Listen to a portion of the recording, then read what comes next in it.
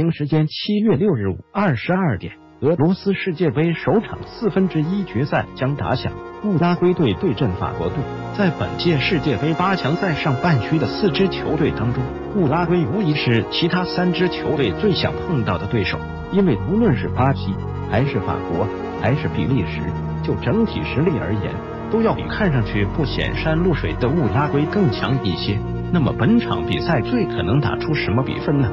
博彩公司已经给出了答案，机构为本场开出波胆比分赔率，其中法国队一比零取胜的比分最被看好，赔率低至一赔四点八零，其次是两队零比零战平的比分，赔率为一赔六点二零，第三位的赔率一比一的比分，赔率为六点二五，第四位的是法国队二比零取胜的比分为一赔六点六零。从上述比分赔率不难看出，机构明显看好法国队常规时间内保持不败。法国队上轮对阵阿根廷队的淘汰赛中火力全开，单场打入四粒进球，其中三粒进球与姆巴佩有关。他的速度和突破是法国队最犀利的进攻武器。不过瓦拉内和乌姆蒂蒂领衔的防线并不稳固，目前四场赛事已经丢掉四球。不过如果卡瓦尼真的无法登场，法国队的防线压力会减轻不少。利好消息，就在法国与乌拉圭大战之前，前方发来消息，乌拉圭神锋卡瓦尼的伤情有了较大转机，这也使得他出战与法国的四分之一决赛的概率变得很高。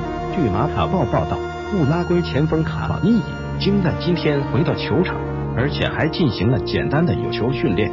从前方传来的照片也可以看到，卡瓦尼正在训练，这似乎也预示着。卡瓦尼的伤势并非传闻中那么严重。早在八分之一决赛乌拉圭与葡萄牙的比赛中，发挥不俗的卡瓦尼在下半场因为腿受伤而被换下场。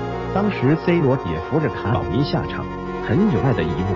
后来检查得知，他并非肌肉撕裂，而是左小腿肌肉受伤。但是媒体的夸大报道也让球迷都认为，作为球队进攻线上不可或缺的射手。卡瓦尼或许真要无缘出战法国了。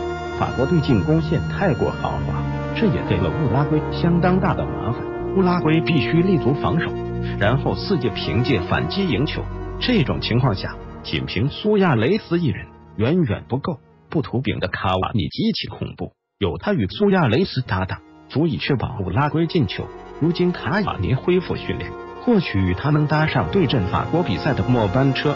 而伤势加重无缘出战法国的消息，此刻看起来多像烟雾弹。可以预见的是，本场乌拉圭队必然会坚持龟缩防守的策略。但问题的关键在于，面对火力强劲的法国队，乌拉圭人真的能守住吗？从博彩公司给出答案来看，最看好法国以一比零的比分淘汰乌拉圭。你又最看好哪个比分呢？